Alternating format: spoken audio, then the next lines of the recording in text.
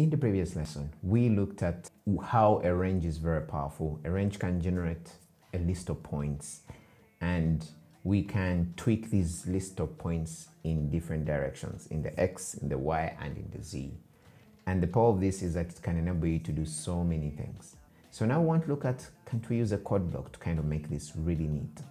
So that's what we're going to do in this lesson. Okay, so First thing we have to do is we want to create this range. So how do we do a range in a code block? So let's type in code block. Okay, I could have copied the other code block. And the way we do a range is we do, let's say, the first number, two full stops, the second number, two full stops, and the range.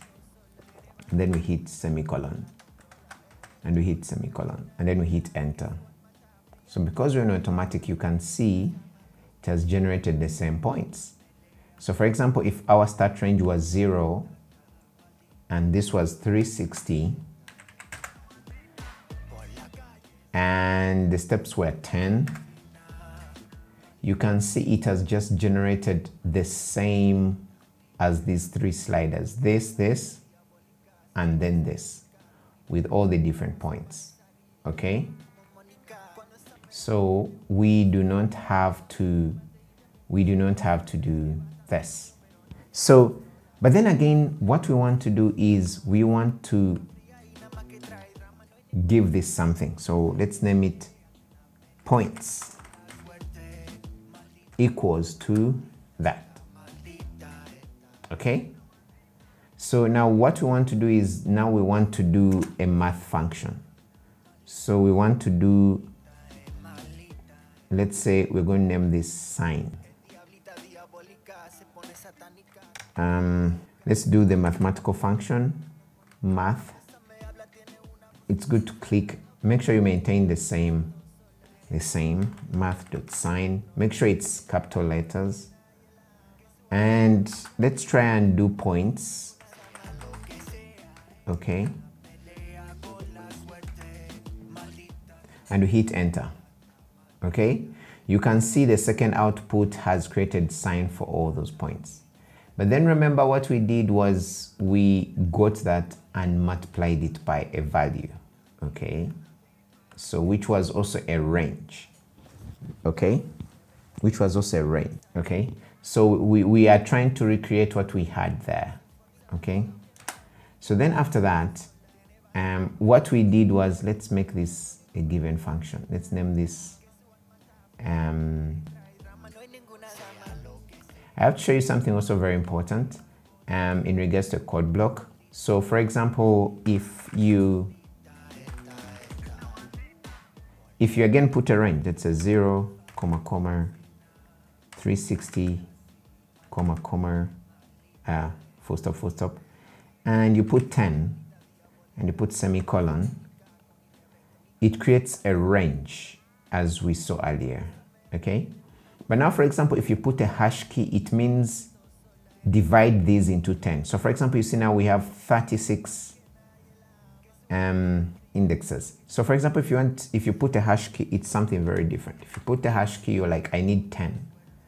And what's going to do, it's going to go in series um, whereby it divides them equally into 10 parts. So it's going to divide the total length the total range into equal into 10 equal parts. So the 10 equal parts are 0, 40, this.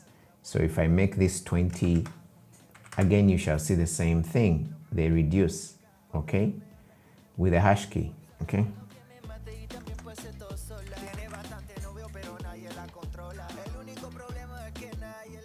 Okay, so if I do 5, again, it's the same.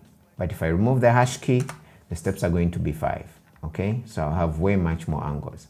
So remember the hash key, what it does, it divides into equal parts, okay? So let's go back here. This is what we're trying to do. So we're trying to do sine. So let's get that. We got points. Now we wanted to multiply them. So what we could do is we could get these points and multiply them by a given value. Let's say A1 You saw what we did there. So A1 will have to come in. So what I want to do is I want to get the same slider, bring it here. Okay, and we multiply the points by the same. Okay, and then we want to have points by coordinate. Okay.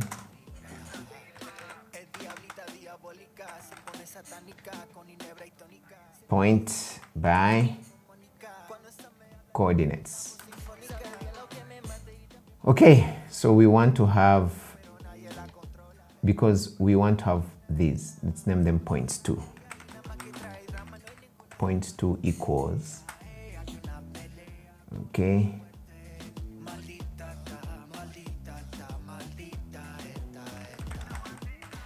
points 2 comma 0 comma 0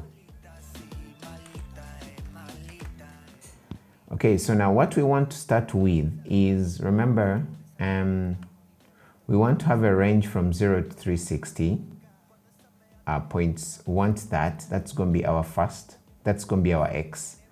So let's make these points. And then this points 2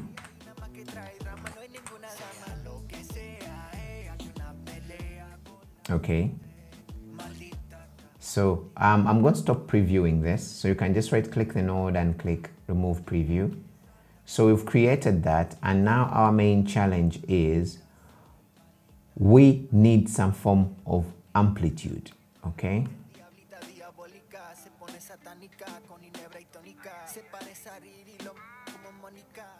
Okay so it looks like it has to be the other way around. So I'm going to do a1 times the math sine. I'm not going to do it inside because this is creating a low amplitude, okay? As you can see, we've ended up with the same, okay? And we can move this around.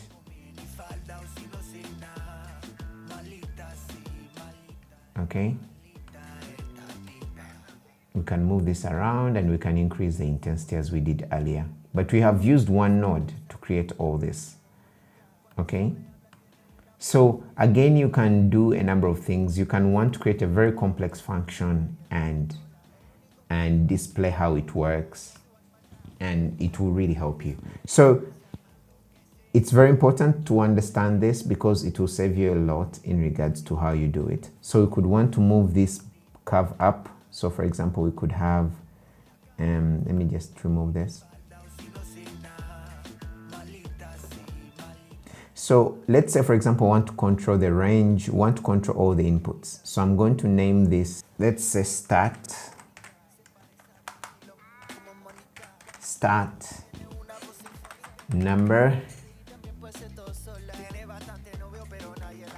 and number, then range.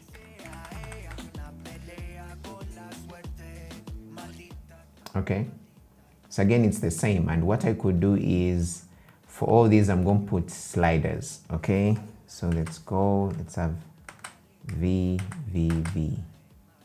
So I'm going to rename all these. I'm going to create something that's, for example, I'm going to rename this as start angle.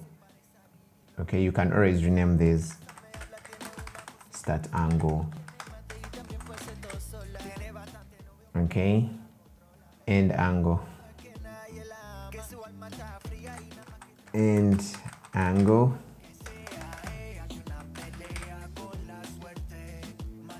So we have the start end and then the steps. Okay? Rename this to steps okay, which is the range. And again, what we want to do, we have the start. So we also want to, why do I have one point? okay, so our start angle is zero, our end angle is 360, and our steps are that. So we have that, which is good. So now what we want to do is, let's name this okay that's fine so want I want to add more controlling parameters okay um, I could control what A1 is in terms of um, in terms of the points, okay? Um, I may want to control A1 in terms of its range, but then I'm going to put something called a phase. So let's name this phase. It can move it up and down. So let's name this phase. And let's put it on the on the Z phase. Okay, so bring it here. Nope, I didn't want it there. I wanted this there. Okay, so you can still move it on the on the Z, but I want to move it by one, not by whatever. So it's not exactly off the X point, but that's good.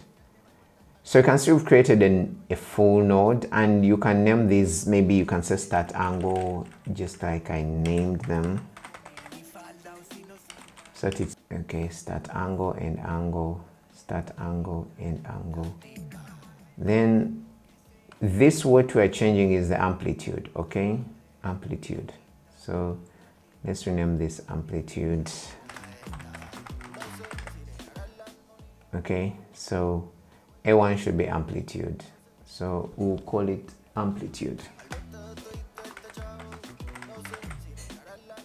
Okay. So again, you can come back and you name it and it creates the curve. So we have that and we've created a function where um, with just a few nodes, I'm going to call that back. With just a few nodes and we have been able to create a sine curve. So thank you for your attention. And we are going to try looking at a way of making this node kind of custom. Um, why is this very important? Is that you reach situations where you want to create a node and you want your team to use it. So in the next lesson, we are going to look at creating a custom node.